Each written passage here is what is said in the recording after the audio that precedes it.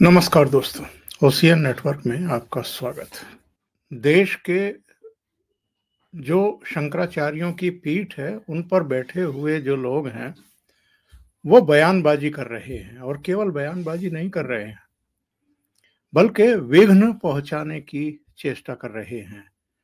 ये उनकी अपनी ईगो है, या पीछे से कोई चाबी भर रहा है, किसी के हाथों में खेल रहे हैं और जो शुभ काज, जिसकी प्रतीक्षा न केवल देश में राम भक्त कर रहे हैं, बल्कि विदेशों में भी जो लाखों करोड़ भारतीय हैं, और भारतीयों के अलावा भी, हम तो ये देखते हैं कि जो भारतीय नहीं हैं, गैर भारतीय हैं, वो भी राम के भजन गा रहे हैं, उनके वीडियो आने शुरू हो गए हैं। जर्मनी की एक गायिका ने राम आएँगे आएँगे, राम आएँगे, एक गीत गाया है। तो दुनिया का अधिकांश हिस्सा इस समय रंग में रगा हुआ है और राम में है। 160 देशों में इसका लाइव प्रसारण होगा, सजीव प्रसारण होगा। 50 से अधिक देशों के प्रतिनिधि अयोध्या में होंगे 22 को। इसके बावजूद हम देख रहे हैं कि जो पीठों पर बैठे हुए हैं और जो खुद को शंकराचार्य कहते हैं, इनमें से एक आध शंकराचार्य तो ऐसे हैं कि जिनके मामले अदालतों में लंबित हैं कि वो शंकराचार्य विधिवत रूप से चुने भी गए हैं, विधि विधान से, या बलात् वो मठ पर बैठ गए हैं जाकर के। ऐसे लोग अगर यूट्यूबर्स को जाकर के इंटरव्यू दें और इस समारोह को लेकर के और शुभ अशुभ को लेकर के अधूरे मंदिर को लेकर के बातें करें तो फिर प्रश्न खड़े होते हैं। मेरे साथ मुंबई से जुड़ रहे हैं वरिष्ठ पत्रकार लेखक मनीषी चिंतक भाऊ तोरसेकर।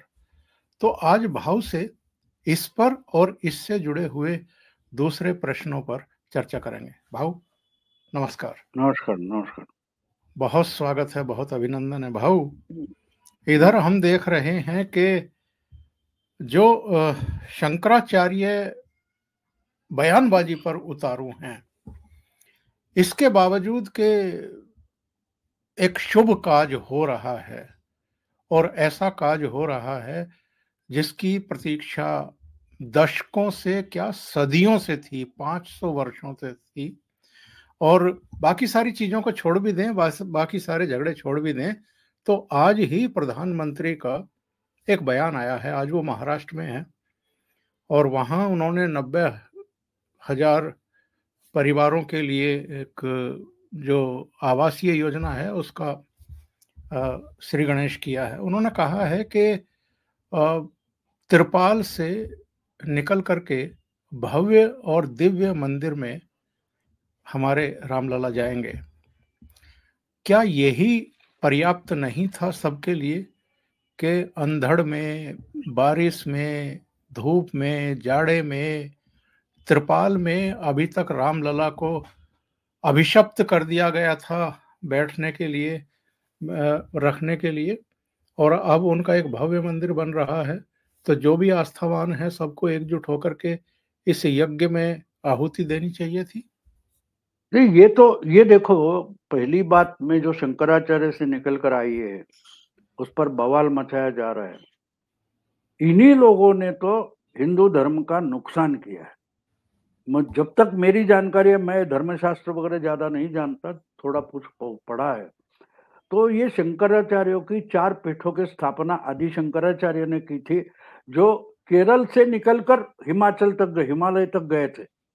और उसके बाद उन्होंने हिंदू धर्म का पुनरुत्थान करने के लिए ये चार पीठ बनाए तो पूरा हिंदुस्तान जोड़ने की पहली कंसेप्ट थी, उसकी आइडिया ही ये थी कि भाई पूरा हिंदुस्तान जुड़ा रहे, इसलिए आदि शंकराचार्य ने चार पीठ बनाए। तो आप जिनको वहाँ पर स्थानापन्न किया गया, हम जिनको नमस्कार करते हैं, वंदन करते हैं, वो ये ना भूले कि वो निमित्त मात्र है। हिंदू धर्म मानने वाले हैं, इसलिए शंकराचार्य है। कोई वेटिकन सिटी में, मक्का में या यूरोप में या अमेरिका में कोई शंकरा, शंकराचार्य का पीठ नहीं है। क्यों नहीं है? क्योंकि वहाँ इस धर्म की मान्यता नहीं है। मानने वाली पॉपुलेशन लोक संख्या बहुत कम है। तो ये जो देश है, यहाँ हिंदू धर्म का उद्भव हुआ और अलग अलग पंथ उसके निकले, फिर भी हम शंकराचार्य यानी हिंदू धर्म को हमारा फेडरेशन मानते हैं। तो आप कौन व्याख्या करने वाले हो? तो आप आप जो कुछ परिभाषा करते हो डेफिनेशन देते हो, उसका कोई कॉन्स्टिट्यूशन में ये भी समावेश भी नहीं है कि मंदिर कैसे बनेगा, क्या बनेगा, ये किसने कहा है? मंदिर कहाँ से बनता है? एक पत्थर रखा जाता है, लोग मत्था टेकना शुरू कर देते हैं, उसकी मूर्त क्या है हमें पता नहीं लेकिन हमारी धारणा जो होती है, हमारी श्रद्धा जो होती है, उससे वो पत्थर को भी भगवान माना जाता है। हमारे मराठी में एक कहावत है दगड़ाला सिंदूर फसला की त्याचा देव होतो यानी सिंदूर जो होता है हनुमान की लाल कलर जो होता है, वो अगर पत्थर को भी लगाया जाए तो उस पत्थर को लोग हनुमान मानना शुरू करते हैं, उधर श्रद्धा से मत्था टेकते हैं, आरती करते हैं। इसके बाद वो भगवान बन जाता है। लेकिन वो असली में पत्थर होता है। वो पत्थर है वो उसको भ्रमित नहीं होना चाहिए कि मैं भगवान हूँ तू भगवान नहीं है। लोग आकर वहाँ मत्था टेकते हैं अपनी श्रद्धा इकट्ठा कर देते हैं उससे एक ताकत बनती है उसको भगवान मानते हैं ना कि उस पत्थर को। अगर वो पत्थर खुद को भगवान मानने लगे और इधर उधर हिलने डुलने लगे तो लोग उस, उसको पिशाच मानेंगे। ये ये समझना ज़रूरी है। श्रद्धा का मतलब धर्म होता है। वो हिंदू हो, इस्लाम हो या क्रिश्चियनिटी हो और कोई धर्म हो। जब श्रद्धा इकट्ठी हो जाती है तो वो धर्म बन जाता है और धर्म बनने के बाद उसके ये ऐसे पुरोहित या पुजारी खड़े हो जाते और सिखाना शुरू कर देते कि ये धर्म है, ये नहीं है। अरे आपको किसने बोला है? मुंबई में आप, आपने सुना होगा, मुंबई में दादर के पास प्रभा देवी में सिद्धि विनायक मंदिर है। हम जब कॉलेज में पचास साल पहले जाते थे, वहाँ इतनी भीड़ वगैरह नहीं होती थी। आज देखो तो मुंबई में आने वाला हर कोई सिद्धि विनायक जाना चाहता है। पचास साल पहले मैं, मेरी बचपन मेरा सब लालबाग में गया है। जिसको आज लालबाग का राजा करके पहचाना जाता है, वो ग्यारह दिन उधर स्थानापन्न वाला होने वाला गणपति, वो कैसे इतना बड़ा हो गया? लोगों की श्रद्धा इकट्ठा होती गई है। वैसे तो दालबाग में ही कम से कम 25 गणपति आपको बड़े बड़े मिलेंगे, लेकिन उसको क्यों माना जाता है कि लोग गए, लोग बढ़ते गए, कारवा बनता गया? तो वरना तो वो मिट्टी होती है ना, मिट्टी का ही बनाते लेकिन हमारी जो श्रद्धा है, अटूट श्रद्धा है, अपार श्रद्धा है, वो उसको गणपति बना देती है। मिट्टी को हम गणपति मानते हैं, उसकी पूजा अर्चना करते हैं और उसका विसर्जन भी करते हैं। प्राण प्रतिष्ठा करते हैं और विसर्जन भी करते ये शंकराचार्य ना भूले कि राम हमारी श्रद्धा है और हमारी श्रद्धा किसी शंकराचार्य के रिकॉग्निशन से, मान्यता से नहीं बनती। हमारी मान्यता है, इसलिए राम है और आप राम के पुजारी हो सकते हो, नहीं होना है तो हट जाओ। हमारे श्रद्धा से मत खेलो। ये जो आज बोल रहे कि प्राण प्रतिष्ठा पहले, अरे मंदिर बाद में बनते जाता है। पहले एक कोई मूर्ति होती है, आहिस्ता आहिस्ता। अब देखो आज आज की तारीख में 1400-1500 साल पहले, जिन तीन मूर्तियों को उस काबे में गाढ़ा गया है, अल्लत, अलमनात अल उज्जा ये तीन देवियाँ हुबाल नाम के भगवान की हुआ करती थी। उनको देवियाँ मानते थे इस्लाम पूर्व लोग। अब उनकी म्यूज़ियम में जो मूर्तियाँ रखी है, वो म्यूज़ियम खुला कर दिया गया है तो लाखों के लोग अरब अरब लोग वहाँ जा रहे क्योंकि अरबों की वो देवी है, जो अभी उनका जो राजा है, राजपुत्र है, उसने घोषित किया है कि इस्लाम हमारी आइडेंटिटी, हमारी पहचान नहीं है, अरब नेशनैलिटी, ये हमारी पहचान है तो लोग उस मूर्तियों के पास जाने लगे। तो ये क्या होता है? 1400 साल वो भी मूर्तियाँ म्यूज़ियम में बन पड़ी थी या काबा में बन पड़ी थी? उसकी पूजा अर्चना शुरू हो गई है, क्योंकि वो उनकी पहचान है, हज़ारों साल की पहचान है। तो राम, भगवान श्री राम अयोध्या, ये हमारे श्रद्धा का स्थान है। उसका डेफिनेशन किसी ने करने की ज़रूरत नहीं है, क्योंकि हमारे मन में जो राम है हम उसका प्रतिबिंब वहाँ अयोध्या में जो मंदिर बन रहा है, वहाँ देख रहे थे। वो बहुत सारे साल, सौ, डेढ़ सौ साल वो वहाँ मस्जिद बन गई, फिर भी वो मंदिर रहा। और आपको एक बात बता दू, दो हज़ार साल पहले जब इसराइल ध्वस्त किया गया, उस पर क्रिश्चियनिटी का कब्जा हो गया और किसी का कब्जा हो गया, दुनिया भर ये यहूदी लोग फेंके गए हकाल दिए गए, भगा दिए गए। हर साल उन्होंने अपने मन में एक श्रद्धा जता कर रखी थी, ज़िंदा रखी थी। और ये उनका जो नया साल शुरू होता है, तब मिलते थे, तब बोलते थे, अगले साल जेरूसलम में, अगले साल इसराइल में। 2000 साल निकल गए। और 1950 में फिर से इसराइल एग्जिस्टेंस में आ गया, क्योंकि वो ज़मीन पर नहीं था। उसका कोई नक्शा नहीं था, लेकिन दिमाग में था, दिल में था, पीढ़ियों से था, इसलिए इसराइल बना। तो शंकराचार्य जन्म लेते हैं, मर जाते हैं, उससे कोई कुछ नहीं होता। राम का भी जन्म हो गया, देहांत तो हो गया बाकी सब हो गया। लेकिन राम ये धारणा है, राम ये श्रद्धा है। तो हमने उनकी कथाएँ बनाई, हमने उनकी मूर्ति बनाई। वो मूर्ति और मूर्ति की प्राण प्रतिष्ठा ही राम होता है, क्योंकि हम उसको राम मानते हैं। उसके आप शंकराचार्य हो या गवर्नमेंट, उसकी मान्यता की ज़रूरत नहीं है। जब सुप्रीम कोर्ट ने भी वो डिस्प्यूटेड था जो भी नहीं माना था, तब भी तंबू में रामलल्ला थे। हमारे हज़ारों, लाखों लोग जाकर उसका दर्शन लेते थे, क्योंकि मूर्ति क्या है बात महत्व की नहीं है, हमारी श्रद्धा क्या होती है महत्व की बात। और कानून भी क्या होता है? हम मानते हैं इसलिए कानून है। इस देश में बहुत सारे दहशतगर्द कुछ हिंसा करते हैं, वो कानून नहीं मानते, हम मानते हैं। तो हम मानते हैं, हमारी मान्यता है, इसलिए कानून होता है और कानून होता है हमारी मान्यता से, उससे ही सुप्रीम कोर्ट हो कोर्ट हो, पुलिस हो, गवर्नमेंट हो, संसद हो, ये सब हमारी मान्यता है, हमारी श्रद्धा है। ये किसी शंकराचार्य हो या कोई सुप्रीम कोर्ट का जज हो, उसने पार्लियामेंट को मान्यता नहीं दी है। We the people of India हम भारत के नागरिकों ने उसको मान्यता दी है, इसलिए वो संसद है। उसमें जिसको बहुमत है, वो इसलिए सरकार है कि we the people of India recognise वो कौन होते हैं शंकराचार्य? जो अपने मसले कोर्ट में लेके जाते हैं, ये हमें धर्म क्यों सिखाएँगे?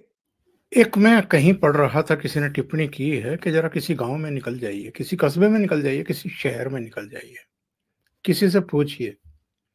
कि जो चार पीठ हैं, उन चारों पीठों के शंकराचार्यों के नाम बता दीजिए। पढ़े लिखे लोग भी इनके नाम नहीं जानते हैं। क्या ये वाकई हिंदुओं का प्रतिनिधित्व करते हैं? क्योंकि ऐसे अनेक अवसर आए हैं, ऐसी अनेक घटनाएँ हुई हैं। जब शंकराचार्य चुप थे, पता ही नहीं था कि शंकराचार्य भी हैं हमारे देश में, और इतनी बड़ी बड़ी जो है घटनाएँ घट गई और ये चुप रहे। बिल्कुल, अरे काठी कामकोटि के शंकराचार्य को जब एक किसी मर्डर केस में आरोपी बनाकर जयललिता गवर्नमेंट ने तमिलनाडु के उठकर, उठाकर जेल में डाल दिया था, तब बाकी के तीन शंकराचार्य बाहर निकले थे। क्यों नहीं निकले थे? हाँ मुरारी बापू हो या श्री श्री रविशंकर हो, इन लोगों ने जंतर मंतर पर जाकर दिल्ली में आंदोलन किया। एक भी शंकराचार्य नहीं निकले। जब आप पर अन्याय हुआ आप में से एक पर अन्याय हुआ, उनको ज़मीन पर लेटाया गया, ना चद्दर दी गई, ना बिछाना दिया गया। बुरी हालत में उनको ट्रीटमेंट दी गई। तब शंकराचार्य कहाँ थे? कम से कम आवाज़ तो उठाते। आज जो प्राण प्रतिष्ठा के नाम पर आवाज़ उठाने की कोशिश कर रहे हैं, ये पॉलिटिक्स खेल रहे देखो, आप शंकराचार्य हो, आप धर्माचार्य हो तो धर्म तक सीमित रहो, उसको ही सेक्युलरिज्म बोलते हैं। सेक्युलरिज्म का मतलब क्या होता है? राजनीति और धर्म अलग होता है। राजनीति के जो फैसले होते हैं, उसमें धर्म मारतंड कोई नाक नहीं डाले, उसमें हाथ ना डाले, ना हस्तक्षेप करे। इसको सेक्युलरिज्म बोलते हैं। और दुविधा देखो या विडंबना देखो कि पूरे खुद को सेक्युलर बोलने वाले शंकराचार्य की साक्ष निकाल रहे हैं। यानी सेक्युलरिज्म का भी मज़ाक उड़ाया जा रहा है। जो खुद को सेक्युलर मानते हैं वो किसकी किसको विटनेस करके खड़ा कर रहे शंकराचार्य को। ये क्या बात हुई? एक जगह बोलेंगे नेहरू नेहरू नेहरू नेहरू सोमनाथ नहीं गए थे। और नहीं गए तो तु, तुम क्यों जा रहे हो? आपको एक इनविटेशन न्योता भेजा गया। रखो कबर्ड में डाल के रखो या फाड़ के फेंक दो कोई बात नहीं। आप आप क्यों बोल रहे हो? पूरी की पूरी सेक्युलर जमात इस पर बोल रही है और उसी भाषा में अगर शंकराचार्य बोलते तो शंकराचार्य खुद भी उनके गुट के पॉलिटिशियन बन जाते। आपको इससे अलग रहना चाहिए। हर गाँव में, इस देश में हज़ारों मंदिर खड़े हो जाते हैं, हज़ारों मंदिरों का जीर्णोद्धार। हर साल होता है। कितने लोग आपको शंकराचार्य को पूछने आते कि भाई, मुहूर्त क्या है? और ये सब राम जन्मभूमि का मामला चल रहा था, कम से कम पिछले तीस पैंतीस साल से इस पर आंदोलन चल रहा था।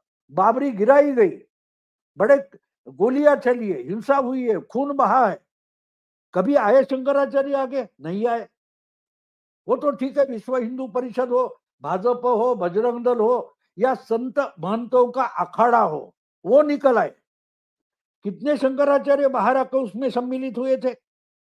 अगर आप उसमें पहले से नहीं हो तो अब चुप बैठो। इनका दुखड़ा ये है को, इनको जो महत्व देना चाहिए था, वो दिया नहीं जा रहा है।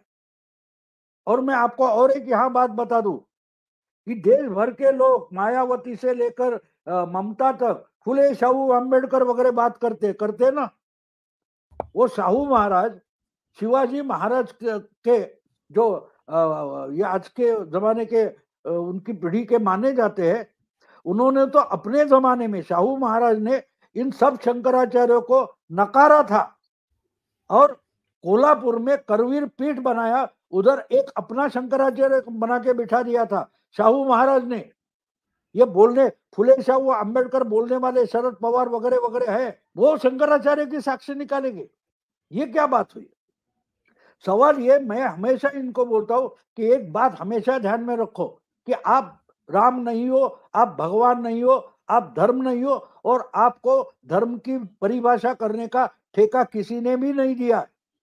मैं मानता हूँ हिंदू, इसलिए मैं हिंदू मैं मंदिर जाऊँ, ना जाऊँ, लेकिन मेरी श्रद्धा, मेरी धारणा अगर मैं हिंदू हो, यही तो हिंदू धर्म की खूबसूरती है, सौंदर्य है। कि हमको मंदिर में जाना ज़रूरी नहीं होता, हमको नवरात्रि करना ज़रूरी नहीं होता हमको उपास वगैरह रखना ज़रूरी नहीं होता। हिंदू एक धारणा है ये दिमाग में है। और इंसान के दिमाग में होता है वैसा ये देश या ये पृथ्वी बदल जाती है। तो धर्म दिमाग से निकला है और भगवान भी दिमाग से निकला है। उसकी परि एक एक शादी एक आपको एग्ज़ाम्पल देता हूँ। भाषाविद होते हैं हमारे। वो ग्रामर बनाते हैं भाषा का। ग्रामर बनाते हैं ना। लेकिन वो भाषा नहीं बनाते। फिर भी हम उनको भाषाविद बोलते हैं। भाषा आम जनता बनाती है। हमारे अलग अलग भाषाओं में जो शब्द आए हैं, कहावतें आई है, उनकी अलग अलग छटाएँ होती है, उनका मीनिंग जो होता है, वो कोई भाषाविद नहीं बनाता। ये इसका डेटा कलेक्ट करते हैं और एक ढांचे में डाल देते, इसलिए वो भाषाविद हम उनको मानते, ये गलत है, इन्होंने भाषा नहीं बनाई है, भाषा आम जनता बनाती है।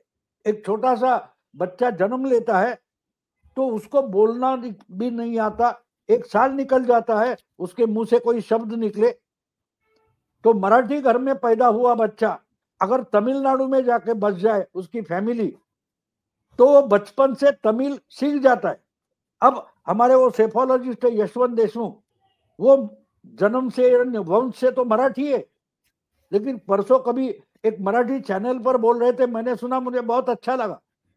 वो बोले, मेरे, मैं तो नाम से मराठी हूँ, वरना तो मैं वाराणसी का भैया हूँ, यानी उत्तर भारतीय हूँ। तो मुझे ढंग से मराठी बोलना भी नहीं आता।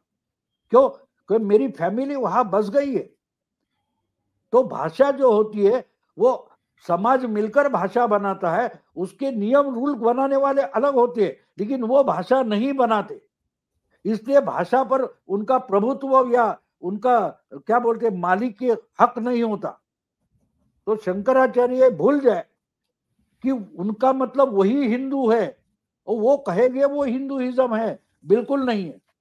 हिंदुइज्म इस देश के करोड़ों लोगों की धारणा है, श्रद्धा है। इसलिए ऐसे मामले में उनको आने की ज़रूरत तक नहीं है।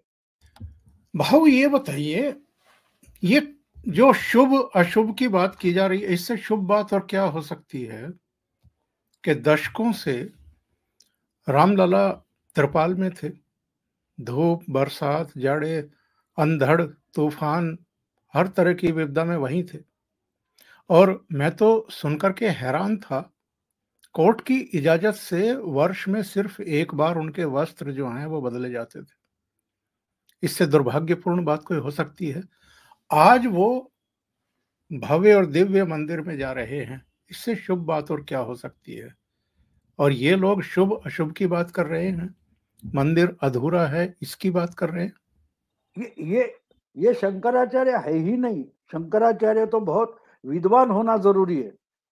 ये भूल गए कि मुहूर्त कहाँ से निकलता है?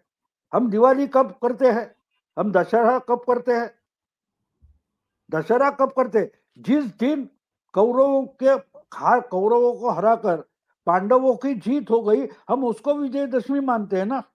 राम अयोध्या पहुँचे, वही तो मुहूर्त बना है। तो आज क्या एक नया मुहूर्त बन रहा है? नया मुहूर्त तैयार हो रहा है और आप पूछ रहे शुभ क्या है, अशुभ क्या है? जो अच्छा होता है, जो काम अच्छा होता है, वो अच्छा काम जिस समय होता है, उसी को मुहूर्त बनते हैं। मानते हैं?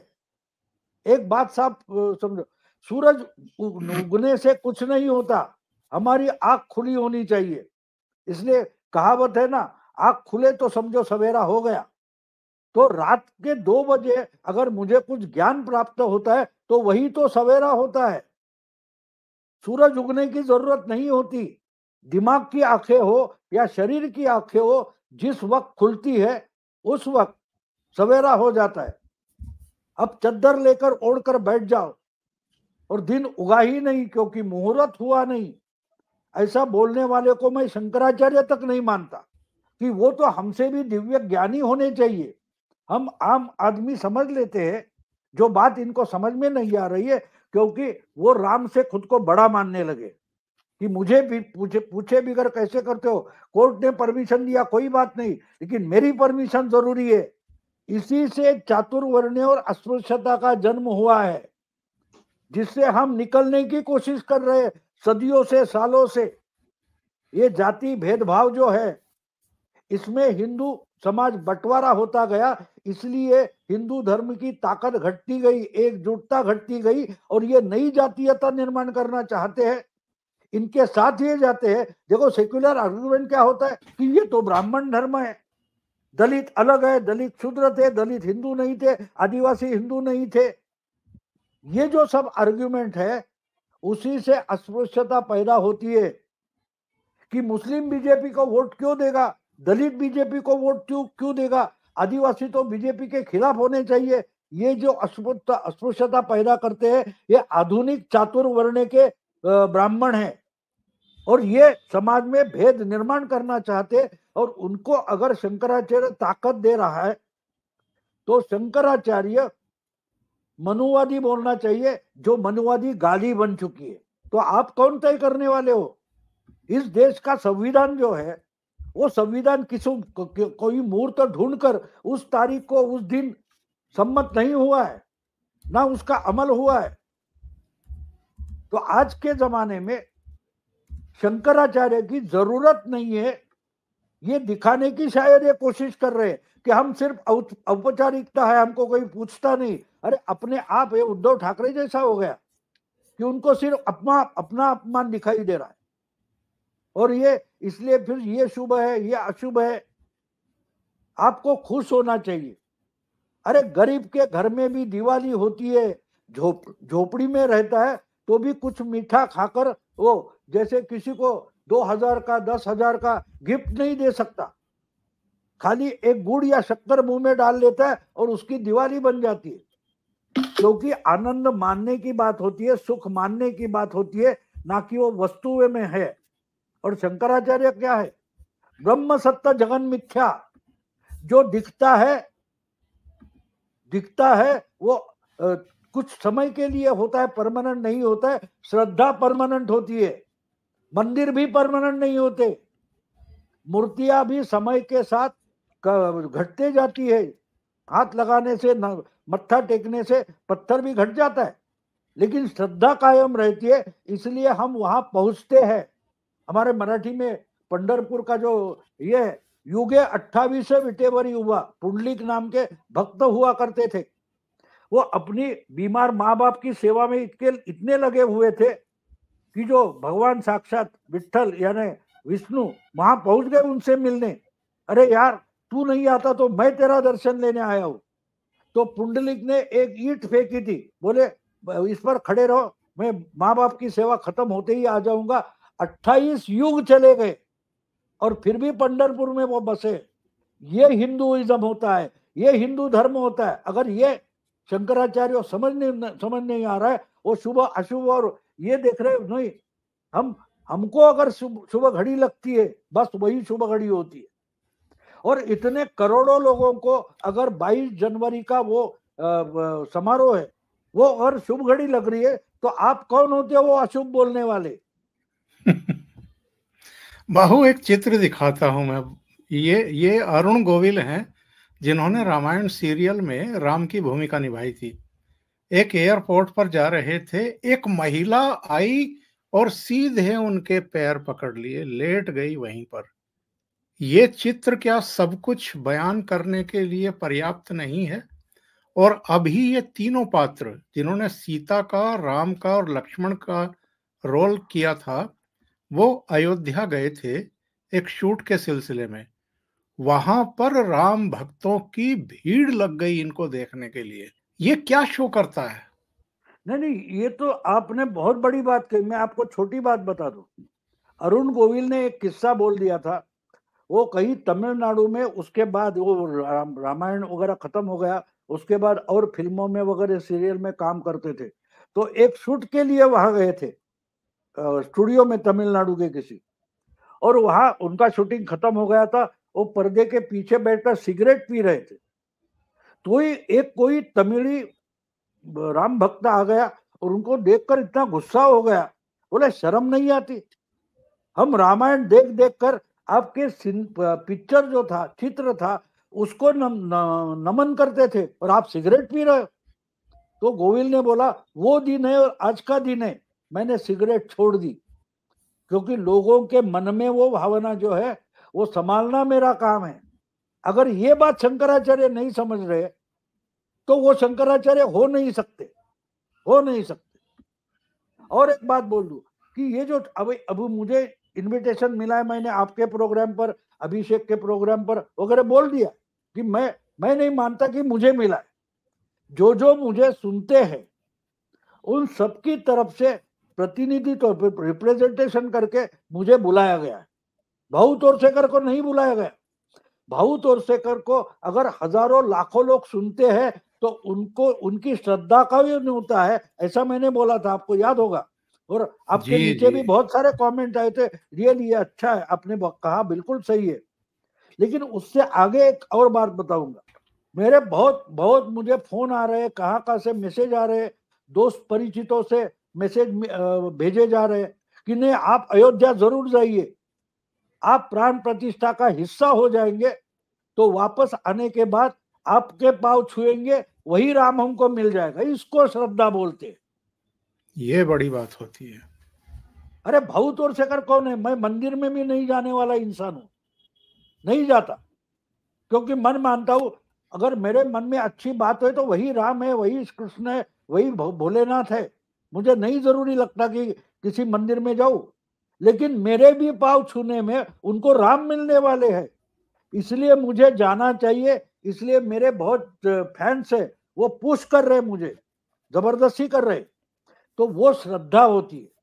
वो नहीं सोचते कि भाई मैं जाने वाला हूँ। यानी मैं भक्त हूँ लेकिन मैं हिंदू हूँ। तो मेरी श्रद्धा का एक्सप्रेस करने का तरीका अलग है बाकी के लोग अलग करते होंगे। सही बात। भाव मैं दो छोटी छोटी क्लिप दिखाना चाहता हूँ ऐसे लोगों को जो विवाद खड़ा करने की कोशिश कर रहे हैं शुभ मुहूर्त पर। एक वृद्ध है बुज़ुर्ग है। उनको निमंत्रण पत्र दिया गया है, अक्षत पत्र दिया गया है, और जरा उनके भाव देखिए।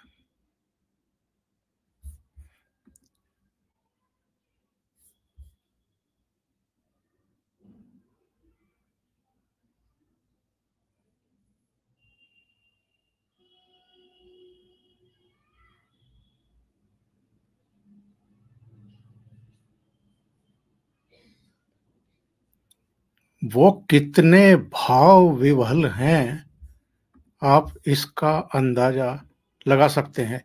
एक दूसरा क्लिप में दिखाता हूँ, जिसकी मैंने चर्चा की थी अभी, कि सीता का किरदार निभाने वाली दीपिका चिखलिया और राम का किरदार निभाने वाले अरुण गोविल और सुनील लहरी जो लक्ष्मण का किरदार निभा रहे थे, वो अयोध्या गए थे।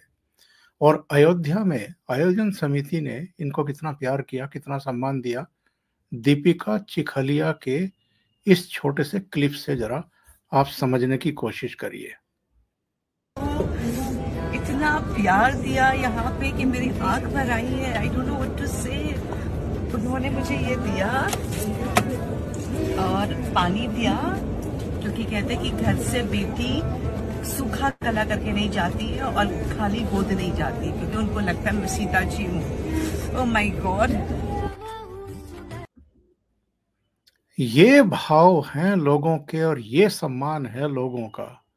इनके प्रति जिन्होंने एक सीरियल में राम, लक्ष्मण और सीता के किरदार निभाए, उनके प्रति भी लोग किस तरीके से श्रद्धानत है, ये अगर शंकराचार्य समझ जाए तो शायद उनकी समझ में आ जाएगा। नहीं, पर भाव एक एक बात आपको और बोल दो श्रद्धा और समझ क्या होती है? हम हमारे माँ ने हमको जन्म दिया हम हमारे पास उसका कोई सबूत नहीं है डीएनए वगैरह छोड़ दो। उन्होंने हमको संभाला आगे चलकर हम उसको माँ बोलने लगे वो माँ हो गई इसका सबूत क्या है? उसका सबूत क्या है? हम मानते हैं ये बाप है ये माँ है तो है। क्योंकि हम मानते हैं। हम खुद को भारतीय मानते हैं। हम खुद को हिंदू मानते हैं। अब देखिए, इस्लाम दुनिया भर फैला हुआ है। कुछ डेढ़ सौ करोड़, दो सौ करोड़ हो गए। सवाल ये कि इनमें से किसी ने अल्लाह को तो देखा नहीं है ना? खुद नबी मोहम्मद, नबी जिनको है पैगंबर जो है, उन्होंने भी अल्लाह को देखा नहीं है ना? फिर भी नबी पर जो विश्वास करते हैं, वो अल्लाह के होने पर विश्वास करते हैं। तो धर्म तो वही होता है। धर्म का मतलब विश्वास होता है। सबका साथ, सबका विश्वास और सबका प्रयास, समझते हो ये मज़ाक नहीं था। सबका विश्वास, सबका साथ, सबका विकास, सबका विश्वास और सबका प्रयास, इसका मतलब उसमें भी राजनीति था और धर्म नीति थी। समझने के लिए आँखें खुली होनी चाहिए, दिमाग के दरवाजे खुले होने चाहिए। इसके लिए शंकराचार्य नहीं होना पड़ता, नहीं होना पड़ता। दत्त की कल्पना क्या है? जब तीनों भगवान साक्षात, ब्रह्मा, विष्णु, महेश, जब उस ऋषि की पत्नी को बोलते कि विवस्त्र होकर हमको खिलाओ तो वो उनको स्तनपान कर देती है, बच्चे बना देती है। उससे दत्त का निर्माण हुआ, ऐसी कल्पना है ना? बिल्कुल। तो इस पर लोगों की श्रद्धा क्यों है कि भाई एक जगह हमारा व्रत भी संभालेंगे तो वो व्रत संभालने के लिए उस एक ऋषि की पत्नी में इतनी दैवी शक्ति आ गई कि उन्होंने तीनों भगवान को बच्चे बना दिए। तो श्रद्धा का मतलब आप नहीं समझोगे तो विश्वास का मतलब नहीं समझोगे तो आपको धर्म समझ में ही नहीं आएगा। साइंस भी धर्म श्रद्धा होती है। साइंस भी परफेक्ट नहीं होता। आहिस्ते आहिस्ते करके उस चीज़ पर हम भरोसा करते हैं। देखो भारत की पहली रेल शुरू हो गई। मुंबई से थाना तक 20 मीलों की 32 किलोमीटर की रेल जब शुरू हो गई तो उसके किस्से आप पढ़िए। आसपास उस वक्त तो मुंबई इतनी बड़ी नहीं थी लेकिन जब ये ट्रेन दौड़ना शुरू हो गई तो अरे ये तो पिशाच है भूत है। लोग डरकर भाग जाते थे गाँव गाँव में छुप जाते थे। उसकी आवाज़ आती थी वो दौड़ती है अकेली, ना घोड़ा है, ना बैल है। अरे कैसे दौड़ती है? लोग डर कर भाग रहे थे। आज कहाँ आ गए हम? तो उसका मतलब वो डर गलत था, ऐसा नहीं। समय बदल गया है। नई नई जानकारी आ जाती है और जब जानकारी पर थियोरी पर हम विश्वास करते हैं, उसके सबूत मिलते हैं, उसके बाद हम उस पर विश्वास करते हैं, लेकिन वो भी नहीं परफेक्ट होता। रेल के भी एक्सीडेंट हो जाते तो मुद्दा इतना है कि हिंदू ये श्रद्धा है वो मंदिर में ही ऐसा नहीं है लेकिन कुछ लोगों के लिए मंदिर ज़रूरी होता है उनको दिखाना। मैंने कहीं पढ़ा था कि ये पीपल का पेड़ होता है या दूसरा जिसको बनियान ट्री हम बोलते हैं हमारे मराठी में उसको वड़ा से झाड़ बोलते हैं। जी जी। तो ये दो पेड़ ऐसे इंपॉर्टेंट है इंसान की ज़िंदगी में कि उनके बहुत छोटे छोटे फल होते वो फल जब पकते हैं तो खाने के लिए दुनिया भर के अलग अलग स्पेसिस के पंछी आते। अगर वो फल खाकर उन पंछियों की जो विष्ठा है वो गिर जाती है ज़मीन में तो ज़मीन को सुपीक बना देती अब ये पूरा साइंस जो है, वो आम आदमी को समझाना मुश्किल है। इसलिए एक पीपल के पेड़ को भूत का पेड़ बना दिया और बनियान ट्री जो बड़ा सा झाड़ है उसको क्या बना दिया? भगवान का पेड़ बना दिया। भैया ये दो पेड़ नहीं तोड़ने। समझा तो श्रद्धा ऐसे बन जाती है जब प्रतीक बनता है। प्रतीक बनता है। क्यों किसी को किसी ने कुछ गलत दिया उसका फ़ोटो निकालते उसको डांबर लगाते उसको जूते से मारते क्या होता है? असली इंसान को तो जूते लगते नहीं। वो भी प्रतीक होता है तो इंसान की ज़िंदगी प्रतीकों से बनती है। अगर ये शंकराचार्य हो या कोई विद्वान प्रोफेसर कोई भी हो उसको अगर समझ में नहीं आता है तो उसका ज्ञान मिट्टी में मिल गया है समझो और आजकल तो हम एक अजीब दृश्य देख रहे हैं जिनको धर्म का पालन करना चाहिए वो राजनीति कर रहे हैं। और जो राजनीति बता दूँगा आपको एक कहानी छोटी सी बता दूँगा। जी। ये कहानी एक्चुअली बहुत चालीस साल पचास साल पहले मैंने ही बनाई थी एक बाल, बालक वर्ष था एक कोई। सत्तर की दशक में एक बालक वर्ष बनाया गया था दुनिया भर में। चाइल्ड ईयर करके।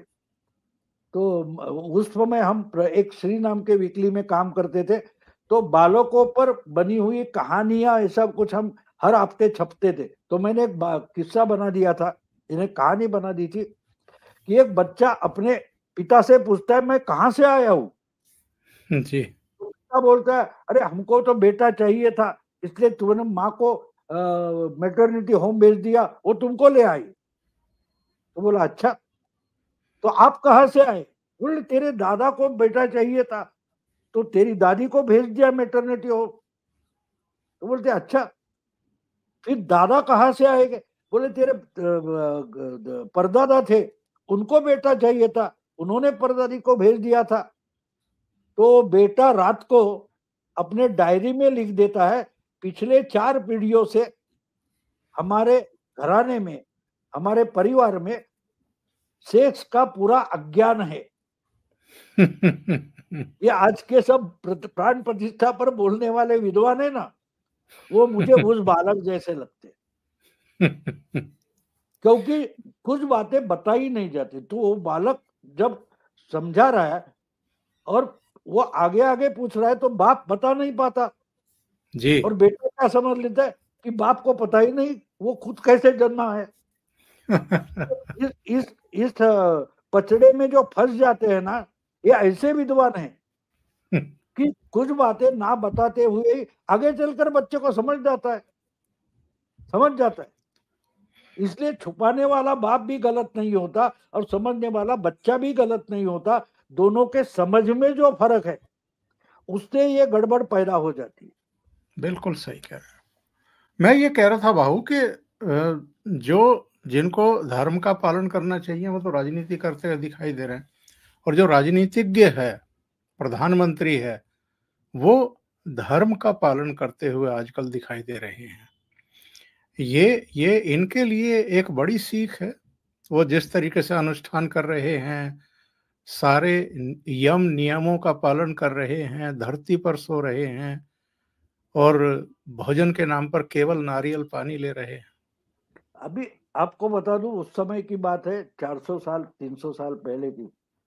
हमारे यहाँ नेताजी पालकर नाम के शिवाजी महाराज के समय के एक बड़े सेनापति थे, वो कन्वर्ट हो गए थे, मुस्लिम हो गए थे। तो उनको जब शुद्धिकरण करके फिर हिंदू बनाना था तो उस समय के जो पुरोहित ब्राह्मण वगैरह थे, उन्होंने इनकार कर दिया था। महाराज शिवाजी महाराज बोले, भाड़ में जाओ तुम।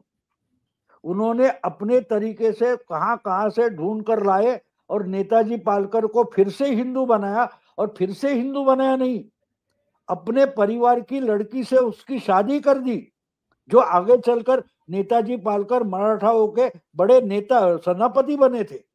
तो अगर शिवाजी महाराज ऐसे महान पंडितों को या शंकराचार्य को कीमत नहीं दे रहे तो तो शिवाजी महाराज की लाइन पर चल रहे। मुझे अभिमान है मोदी का। मोदी जैसा शिव भक्त है, यानी शिवाजी महाराज का भक्त दूसरा नहीं है। अगर ये शंकराचार्य को अलग रखकर अपना काम कर रहे तो बिल्कुल सही है। और शंकराचार्य को धर्म का पालन करना चाहिए, धर्म नीति की मर्यादा में रहना चाहिए। राम का नाम ले रहे हो। अरे राम मर्यादा पालने वाला पुरुषोत्तम माना जाता है। और आप अपनी मर्यादा लांग रहे हो। आप अपनी मर्यादा लांग रहे हो।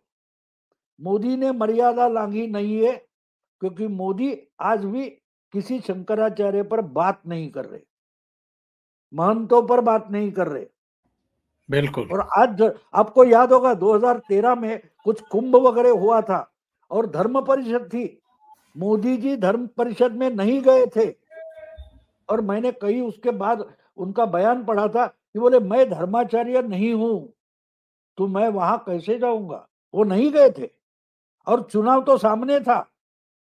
आज अगर न्योता नकार नकारने वाले लोग हैं तो उस वक्त मोदी ने भी न्योता नकारा था, लेकिन उसका रीजनिंग दिया था कि धर्म परिषद में धर्माचार्यों को जाना चाहिए मैं तो पॉलिटिशियनों में कार्य करता हूँ।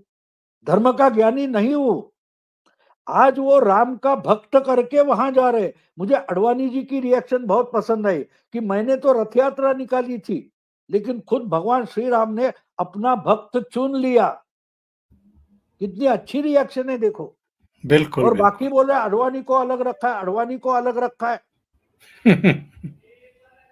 क्योंकि आपको मोदी को कंडेम करना है आपको राम से मतलब नहीं है धर्म से मतलब नहीं है शुभ शकुन से मतलब नहीं है अपशकुन से मतलब नहीं। और एक परम ज्ञानी कह रहे हैं कि मुलायम सिंह यादव का भी बड़ा भारी कंट्रीब्यूशन है। उन्होंने गोली चलवाई इसलिए ये आंदोलन यहाँ तक पहुँचा और राम मंदिर बना। हाँ वो तो होते गिरे तो भी टांग ऊपर ऐसा बोलते हैं ना उसको। गिरे तो भी टांग ऊपर बोलते हैं। तो आप आगे आ जाओ। हमारे शरद पवार भी बोले नहीं राजीव गांधी ने तो पहले शिलान्यास किया था और दरवाज़ा खोला था। अब किसी कहा कोई भूमि पूजन होता है तो भूमि पूजन के बाद जब बिल्डिंग खड़ी हो जाती है, वो भी शरद पवार ने बनाई है। नहीं नहीं, उसको तो कुदल पहले, कुदाल पहले मैंने मारी थी। भूमि पूजन मैंने किया था। अरे, नेहरू का भूमि पूजन होता था और राजीव गांधी उद्घाटन करते थे, ऐसा भी समय है। कहा हो आप? ये आउटडेटेड सब है, एक्सपायरी डेट हो चुके दवाई भी जहर होती है। ये सब खुद को सेक्युलर एंटी मोदी बोलने वाले लोग हैं ना, इनके पॉलिटिक्स की एक्सपायरी डेट हो गई है, इसलिए लोग उनको रिफ्यूज कर रहे हैं। हम देखते हैं ना, दवाई लेने जाते हैं तो उस पर एक्सपायरी डेट होती है तो उस तारीख तक वो दवाई दवा होती है। एक्सपायरी डेट खत्म हो गई, उसके बाद उससे हानि हो सकती है, घात हो सकता है। तो इन सब की, और मुझे लगता है दस साल पहले की बात है। खुद दिग्विजय सिंह बोले थे, राजीव गांधी ने हमारे जैसे लोगों को लाया, हमारी एक्सपायरी डेट हो चुकी है। ये कांग्रेस अधिवेशन में दिग्विजय सिंह बोले थे। ये लोग समझ नहीं पा रहे। और लोग समझते हैं ना, आम आदमी बाकी का साइंस समझे ना समझे। अपनी तबीयत की बात सोचते हैं, अपना स्वास्थ्य समझते हैं लोग। इसीलिए तो इस देश के मतदाता ये एक्सपायरी डेट हो चुके सब पार्टियों को सब दवाई को हटा रहे भाऊ बहुत बहुत धन्यवाद आपने ओशियन नेटवर्क के लिए इतना समय निकाला और बहुत ही महत्वपूर्ण मुद्दे पर ठीक है हमारे दर्शकों का को भी प्राण प्रतिष्ठा समारोह के शुभ चिंतन करता हूँ और देखता हूँ बाद में अभी आने के बाद वहाँ के कुछ बातें सुन बहुत लोग मिलेंगे अलग अलग लोग आने वाले हैं देखते हैं वहाँ क्या चार दिन में होता है। चार दिन के बाद में मेरे ही वीडियो हो गए नहीं रेडी यानी ताज़ा वीडियो नहीं होंगे मराठी में हो या हिंदी में हो पच्चीस के बाद में बना सकता हूँ। देखते वहाँ कौन कौन मिलता है क्या क्या बातें होती है कितने लोगों से इंटरेक्शन होती है उस पर बड़ी बहुत सारी बातें निर्भर है। बहुत तो बहुत शुभकामनाएँ बहुत लोगों के लिए प्राण प्रतिष्ठा की शुभकामनाएँ। बिल्कुल बिल्कुल शुभ यात्रा और आप स्वास्थ्य का ध्यान रखें। और सभी दर्शकों की तरफ़ से भी आपको शुभकामनाएँ। नमस्कार। नमस्कार।